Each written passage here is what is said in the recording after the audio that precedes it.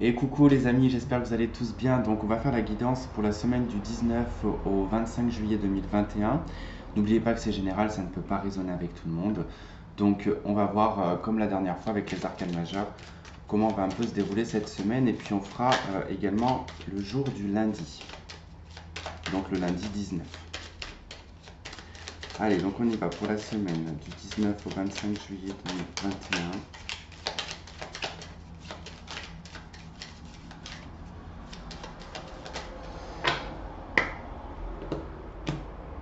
Hop, c'est parti. Allez, le pendu, le jugement, la route fortune, l'impératrice, le chariot, la maison Dieu, alors 2, 4, 6 et le monde. Bon, bah écoutez, hein, regardez le soleil en dos de deck. Hein, rappelez-vous, la semaine dernière, nous avions pour le dimanche le soleil. C'est assez étrange parce que là, vous finissez aussi la semaine avec une carte très positive qui est le monde. Donc, les semaines, quand même, elles sont constructives. On commence le début de semaine avec le pendu. Donc, on est plutôt dans une situation où on revient un petit peu peut-être sur le, samedi. Hein. Le samedi, le samedi dernier, il y avait le pendu. Donc il est possible qu'on revienne sur, sur ça, ou en tout cas c'est la réflexion qu'il y a pu y avoir dans les semaines précédentes, sur un point de vue qu'on doit se faire. Donc là, il y a un point de vue qu'on doit se faire, il y a quelque chose que l'on doit voir d'un angle différent, doit prendre du recul, et c'est une situation qui de toute manière hein, euh, oblige à la pause. Mais c'est généralement soi-même hein, qui, euh, c'est nous-mêmes qui nous bloquons euh, pour justement prendre du temps. Ou une situation de toute façon qui est bloquée, on n'a pas le choix.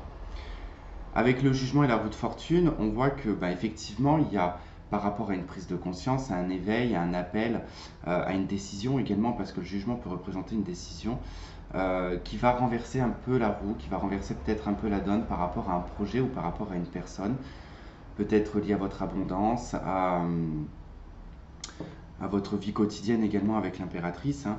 Euh, donc il peut y avoir un petit peu du changement dans vos habitudes, c'est possible. Hein. Qu'est-ce que je pourrais vous dire d'autre euh, sur ce début de semaine? Pour moi, il y a un changement de conscience, il y a un changement de, de prise de vue, en fait.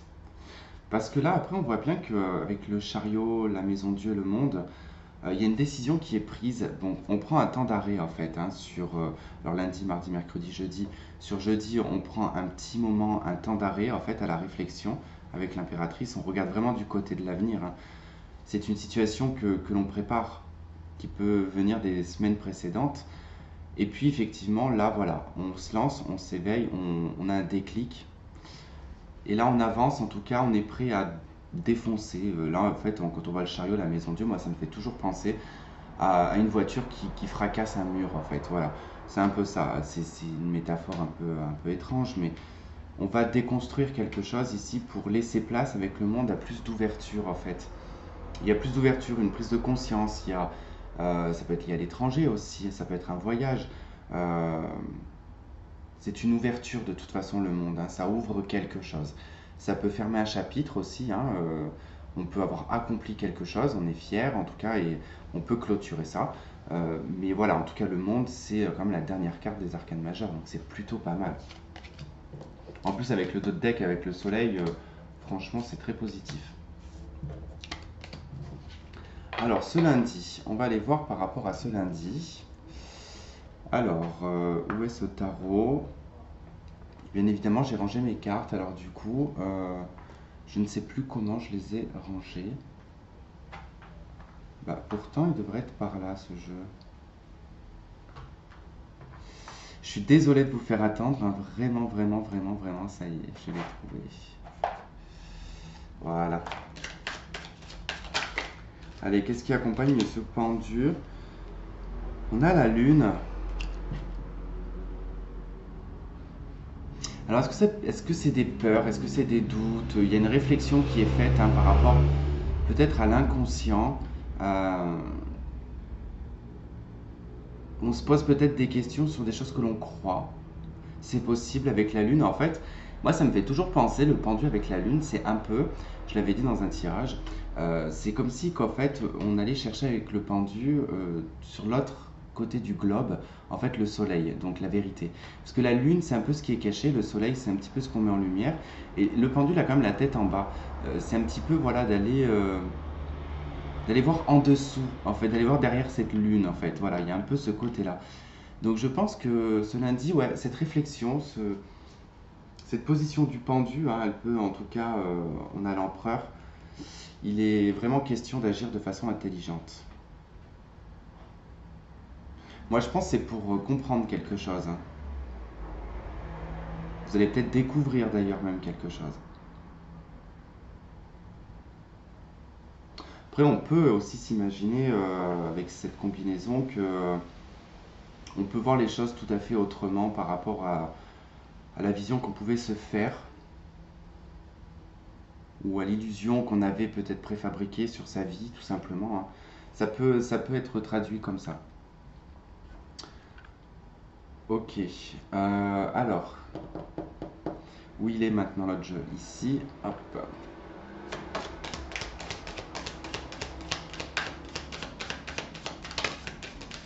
Ok, on a le chakra du cœur, unicité, amour. Donc avec cette carte, en tout cas, on va vous conseiller bah, les pierres semi-précieuses euh, ou précieuses hein, qui sont de couleur verte, euh, de porter du vert aussi, de visualiser du vert. Avec le chakra du cœur, de toute façon, là il est question avec ce pendu, cette lune et ce chakra du cœur, vraiment d'aller aussi puiser à l'intérieur de soi, euh, d'aller chercher dans les profondeurs de son émotionnel, vraiment ce qui vous anime, ce qui vous ce qui vous fait vibrer en fait hein Qu'est-ce qui vous fait euh, battre le cœur finalement, quelque part Parce que je pense qu'il y a une quête, il y a une recherche ici. Comme si des choses que l'on n'avait pas vues, euh, qu'on n'avait peut-être pas conscientisées, que vous allez comprendre probablement sur le lundi. On a l'éclosion d'autres deck. Hein. Donc on est vraiment sur quelque chose qui va éclore. Ok, allez. Euh, hop.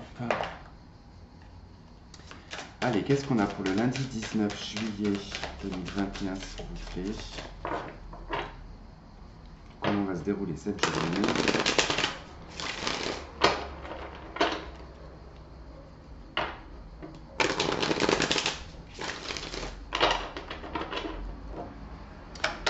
Allez.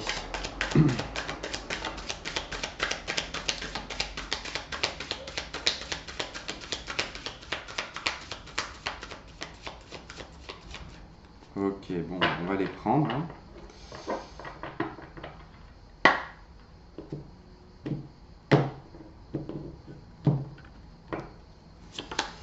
Alors, le monde, bon, la carte que vous avez en fin de semaine en plus.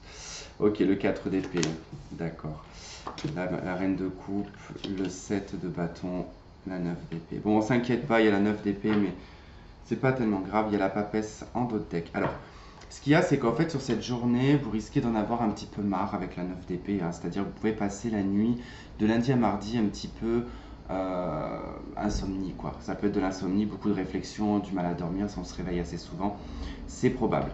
Alors, pourquoi? Parce que euh, sur ce lundi, par rapport à la réflexion que vous allez vous poser, il y a vraiment quelque chose que vous sentez qui va commencer à s'ouvrir pour vous, mais ça va s'ouvrir vraiment sur la fin de semaine. Et je pense qu'avec la 4 d'épée, vous sentez que c'est bloqué pour l'instant. C'est 4 d'épée et le pendu, c'est un peu la même chose. C'est-à-dire que là, on est plutôt sur un repos, on est plutôt sur euh, l'hibernation, penser ses blessures. Vous voyez, on est vraiment dans cette énergie-là. Et, euh, du coup, euh, ça vous fatigue un petit peu, en fait, d'essayer d'atteindre, en fait, un objectif ou d'atteindre, effectivement, un soulagement. Parce que ça peut être aussi vu comme un soulagement, le monde. Il y a vraiment quelque chose dans lequel vous êtes fatigué, euh, pour certains, bon, c'est vrai qu'ici, il peut s'agir d'une maman, il peut s'agir d'une personne de cœur hein, qui peut être euh, en coupure avec vous, qui peut vivre à l'étranger, enfin, qui peut être loin de vous, vous pouvez avoir des inquiétudes hein, pour cette personne, ça c'est possible. Euh, sinon, après, on voit que voilà, avec la 7 de bâton, la 9 d'épée, on, s'oblige quelque part à tenir une forme d'équilibre émotionnel ici, hein, parce que bon, bah, avec la reine de coupe, on est dans les émotions, on est euh, dans comment ben, euh, on se sent au quotidien, parce que c'est un peu la mère, en fait, la reine de coupe, hein, c'est un peu le côté très maternel, hein, tout ce qui entoure, le foyer, euh, les amours aussi également, c'est un côté très, féminin, très féminin. Pardon. Et avec la 7 de bâton et la 9 d'épée, on se fait beaucoup d'inquiétude par rapport peut-être à sa vie sentimentale, c'est possible. Et du coup, on tient quand même un cap avec la, la 7 de bâton. En fait, on se refuse quelque part d'être mal. Mais ça n'empêche pas que là, bon, ça arrive quand même qu'on n'arrive pas à dormir. Euh, mais voilà, en tout cas, on, se maintient. On, tente de garder un équilibre en fait. Hein. La papesse en dos de deck et la, 4 de coupe. Bon, il peut s'agir ici d'un souvenir que vous gardez précieusement. Euh, enfin, c'est un souvenir euh, qui manque. Hein. Avec la 4 de coupe et la papesse, bon, ben, on, conserve un petit peu tout ça. C'est un peu la conservatrice. Hein. hop.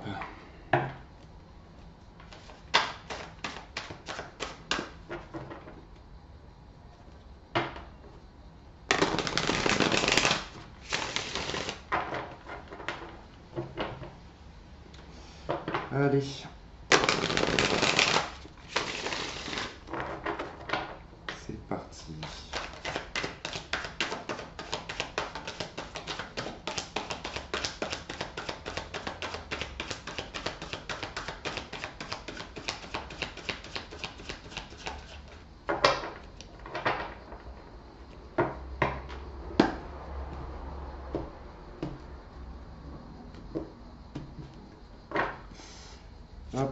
Alors, la 2 de coupe, ok.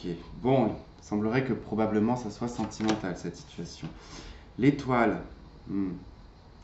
Alors là, ça nous parle d'une attente. Ça nous parle vraiment d'une attente à la réalisation, probablement ici d'une relation. Ou alors d'un partenariat ou d'une association avec quelque chose qui est lié à l'étranger, peut-être une entreprise ou une personne qui est à l'étranger, si c'est professionnel. Euh, si c'est sentimental, bon, effectivement, on pourrait parler d'une personne à l'étranger ou d'une personne loin. Euh, ou d'une personne hein, qui s'est peut-être isolée de vous, c'est possible. Euh, on attend qu'il se passe quelque chose en fait. Il y a vraiment cette idée de... Il peut y avoir un déblocage, hein, c'est possible avec l'étoile et la 4 d'épée, on peut y voir peut-être un déblocage. Mais je ne suis pas très certain, j'ai plutôt l'impression qu'on est dans l'attente ici avec l'épée euh, d'un élément de réponse, d'une vérité ou ouais, peut-être une prise de conscience, hein. en tout cas. Euh. Ok, on a l'arcane son nom avec la reine de coupe.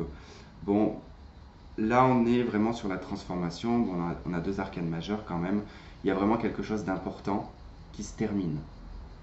Alors, il peut y avoir vraiment deux cas. Ça peut être un espoir, vous voyez. Ça peut être un espoir euh, qui, se voit euh, éteint complètement. Ça peut être sur le domaine sentimental. Voilà, on, abdique peut-être une situation qui est bloquée, d'accord, sentimentale. Il y a de la distance avec cette personne, hein, du moins qu'elle peut être physique ou euh, tout simplement énergétiquement. Hein, cette personne a peut-être tourné le dos. Euh, c'est peut-être ça hein, dans lequel vous êtes en train de vous battre pour ne pas sombrer. C'est possible.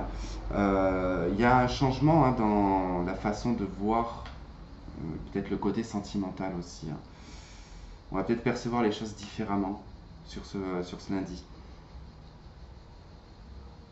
Ouais, j'ai hâte de voir la prochaine carte qu'il y aura en dessous après. On a la 3 de denier. Ok. Ça me fait rire parce que là, avec cette carte, ce qui me marque, en fait, c'est quand je vois l'échafaudage euh, derrière, euh, avec la reconstruction de cette cathédrale. Euh, ça me fait penser qu'en fait, on tente tant bien que mal avec la 7 de bâton ici à tenir une structure, euh, à tenir ce qui est un petit peu château branlant en fait. Hein. On sent que c'est un peu déséquilibré avec la 3. Euh, on peut être lié à une triangulaire, c'est possible. On peut être lié ici à, une entreprise aussi. Hein. Ça peut être se battre par rapport à une entreprise qui, qui ne va pas très bien. on se fait peut-être beaucoup de soucis. C'est l'idée de reconnaissance aussi. Hein. donc, euh, on se bat pour être reconnu, on, se bat pour, euh, euh, pour, avoir un regard, en fait. Hein. c'est possible. Hein. Une intention. On a le cavalier de coupe. Bon, c'est bien un peu quand même dans le domaine sentimental, tout ça. On veut des nouvelles. Là, on a envie d'avoir des nouvelles sur, sur ce lundi. On a envie que l'autre, hein, en tout cas, nous communique. Euh, on a envie de partager. On a envie d'exprimer son amour, qu'on ait quelqu'un ou pas. Hein. Mais on se fait du souci par rapport au sentimental.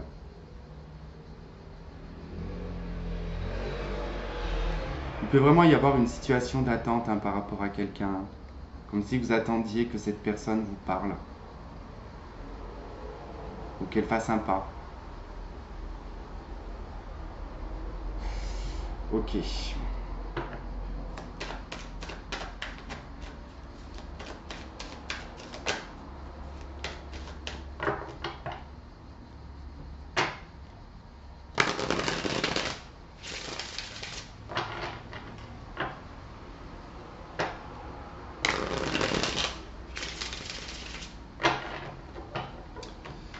2つ。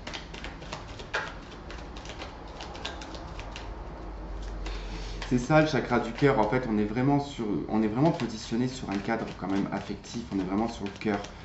Euh, il est probable que vous allez comprendre quand même certaines choses peut-être changer votre façon de, je sais pas. En tout cas, ça va être très centré sur l'intériorité avec la lune, sur les émotions, sur euh, l'affect.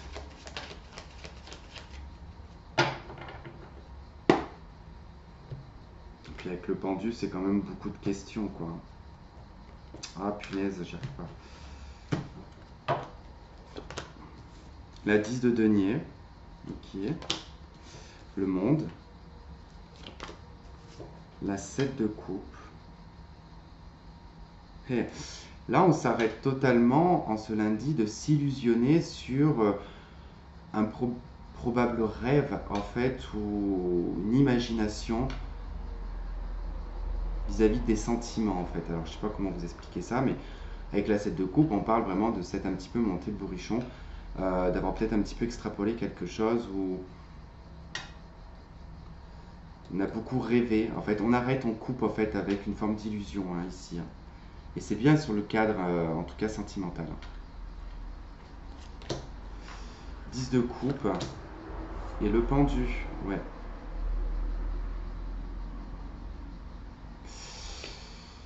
Deux de coupe hein, qu'elle est suivre. Hein. Il y a vraiment une résonance particulière dans ce jeu. 5 hein. de coupe après. Et c'est exactement de toute façon ce que je ressens malheureusement. Alors, on ne peut pas toujours avoir des journées qui sont roses. Euh.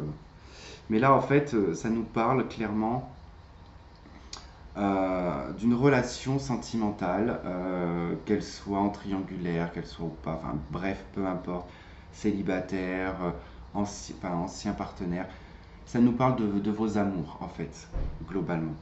Euh, d'un passé, d'un acquis, de quelque chose qui, euh, bah, qui semblait être euh, porteur de réussite, ou du moins il y a eu une réussite dans cette relation. Hein. c'était, on, voyait grand quand même, on voyait grand. et c'est vrai qu'on voit toujours grand par rapport à ça. Mais il y a un moment de réflexion en fait où on se demande si on n'a pas un petit peu trop alimenté tout ça en fait. Hein. Parce qu'avec l'étoile, il y a quand même beaucoup d'espoirs qui se voient quand même éteints, des espoirs qui sont un peu illusoires aussi. Hein. On voit qu'il n'y a pas de communication, que c'est complètement fermé, que les choses sont en hibernation, c'est en repos en fait. Hein. Là, euh, on est plus dans une période de guérison, une méditation. On se bat contre soi-même, contre ses pensées, contre ses démons intérieurs. Et là, euh, on voit qu'il bah, y a toujours cette pause hein, qui revient avec le pendu qui est là, et ça concerne le cadre quand même sentimental. Donc il y a une communication, un échange, on, tente tant bien que mal ici de se battre euh, et de tenir, on va dire, cet échafaudage pour être un minimum heureux dans sa vie. Donc il y a cette notion quand même de devoir quand même combattre euh, pour avoir peu, peut-être. donc cette journée va être en fait une journée de réflexion, Hein. Il n'y a pas d'événement global, euh, physique. Ici, c'est plus, je dirais, dans l'esprit, en fait. Ça va être des, réflexions, des... Voilà, on va en tout cas se poser pas mal de questions. On va se demander euh, bah, pourquoi est-ce que les choses, elles bloquent autant? Pourquoi est-ce que je me suis plongé dans, dans, un espèce de rêve? Euh, Pourquoi j'ai le sentiment d'être en attente, d'être dans l'attente, où je n'arrive pas à oublier quelqu'un? Il y a, vraiment, quelque chose comme ça qui ressort. Hein. Alors, on va prendre une carte euh, des anges de l'amour pour voir.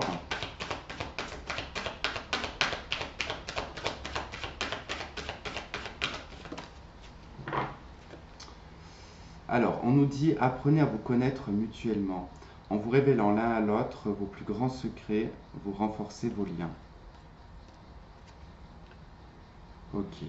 Là, on peut parler euh, avec cette carte-là. Si c'est dans une relation de couple, euh, c'est peut-être pour ça qu'on a le set de couple qui est ressorti. Parce qu'on a beaucoup le côté extrapolation imaginaire euh, produit par l'émotionnel. C'est-à-dire qu'on communique pas, on se fait un film. Et peut-être que là, ça nécessite vraiment une conversation, d'accord? Parce qu'on voit qu'il n'y en a pas avec la 4 d'épée, hein, il n'y a pas de conversation, on se bat contre ses pensées, donc peut-être qu'on a peur de, dire certaines choses et euh, on bloque ses propres pensées. Mais voilà, si vous avez le sentiment que cette personne a un secret ou quoi que ce soit, voilà, parlez-lui-en c'est, euh, je pense, important c'est pour ça qu'on a cette carte qui ressort.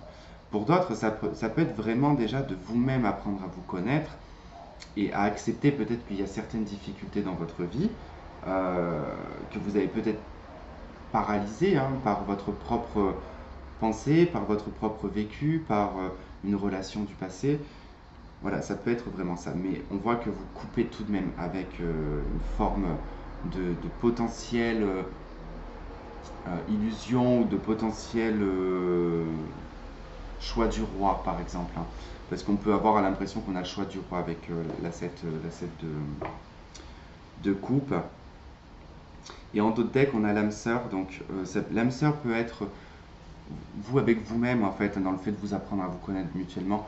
Mais sinon, ça peut vraiment concerner des personnes avec qui, en tout cas, vous êtes en lien, qui a un lien d'âme sœur, d'accord et que peut-être il y a quelque chose pour l'instant qui est bloqué et que vous ne pouvez pas faire autre chose que d'attendre. Voyez, on le voit, 4 d'épée, le pendu, euh, on a l'arcane sans nom, enfin bon, il y a pas mal de choses, hein, 9 d'épée, euh, de nouveau le pendu, la lune. Bon, il n'y a pas extrêmement d'action, quoi. C'est beaucoup, euh, beaucoup dans l'émotionnel, beaucoup dans les pensées, vis-à-vis d'une personne que vous aimez, quoi. Donc voilà, bon écoutez, pour cette semaine, pour cette semaine et ce lundi, parce que là on est sur la journée du lundi, 19 euh, juillet. Donc ben, je vous retrouve pour la journée du mardi 20. Je vous fais plein plein de gros bisous. Merci de m'avoir regardé, de m'avoir écouté. N'hésitez pas à liker et à vous abonner si ce n'est pas déjà fait. A très vite. Bye bye.